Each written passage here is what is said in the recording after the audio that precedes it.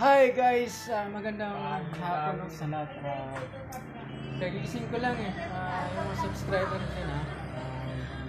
guys, dito ako kay, ano, kay Ate Michelle, dito sa anak niya. Ah, so, nandito siya ate, yung pinaka nanay namin doon sa, ano, sa ah, Anghila. So, ito si Kuya, yung anak niya, ito yung pinakabunso niya. Guys, dito kami, ah, pinuntahan namin tong pinaka-best friend namin nanay. So, kasama rin niya yung ano niya. ah, ah, kasama namin yung ex niya. Ex ba? O, eh, sila pa naman eh, kasi hindi pa sila naghiwalay. Ah, natuwa ako dahil nandito si, ano, si Unad at saka kasama si ate. Guys, so, ito, ako, kahit malungkot yung buhay ko, hindi na ako malalahanin. Ito naman, single naman to yun.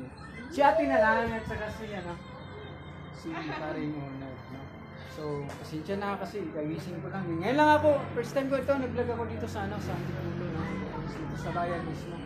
So, ito yun, ah, ah, natuwa ako dahil napakaganda pala ni ate. Ah, hindi ko expected na ganito pala siya ngayon. So, natuwa ako dahil first time siyang nakita mula nung dinala namin siya sa hospital, guys, no? So, ito yung nanay ko eh. Nanay ko yan doon. So, ah, natuwa ako dahil nakita ko siya.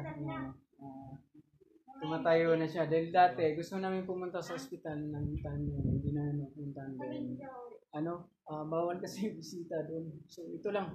Ngayon lang ako nakapunta dito eh. So guys, ah, ah, yun lang. ah, share ko na lang yung ano ko, yung, yung karanasan namin ni ate, yung hirap, ginawa. So, ito. Dito ako ngayon. Ah, si ate, oh. So, ganun pa rin. Ate!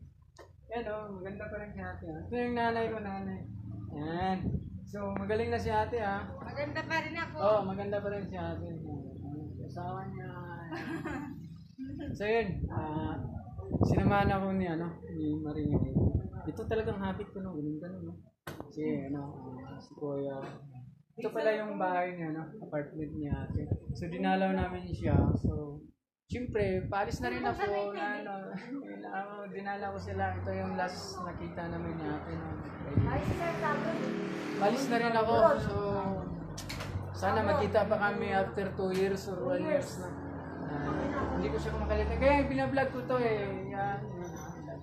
Hindi ko to makalimutan. Aalin na, kuya? I love you so much. Stay.